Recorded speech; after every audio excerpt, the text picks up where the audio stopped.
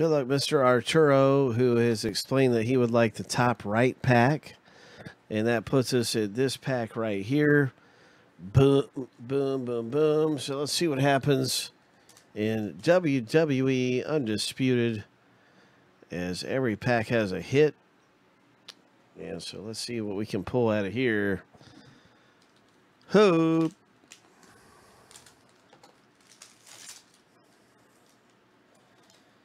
What's it going to be?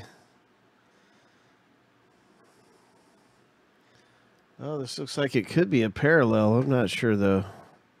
Maybe it's not. just had a hint of green. Thought it might have been a numbered hit, but no, it's Triple H.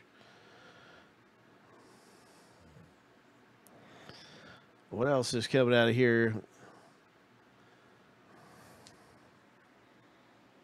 This looks like a parallel as well. I'd be surprised. Okay, that's a 10 of 10.